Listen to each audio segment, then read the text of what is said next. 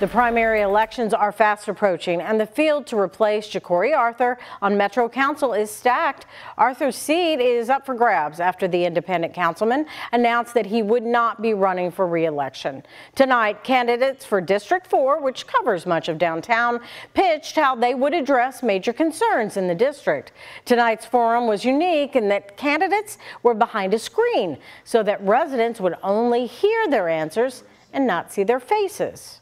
So to do it blindly is because we wanted the people to hear what they had to say, not what they look like. You know, I just wanted it to be a fair, a fair field.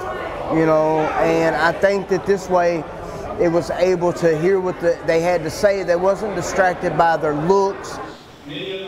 The deadline to register to vote for May's primaries is Monday. Tonight's forum, by the way, was moderated by our very own Travis Breeze.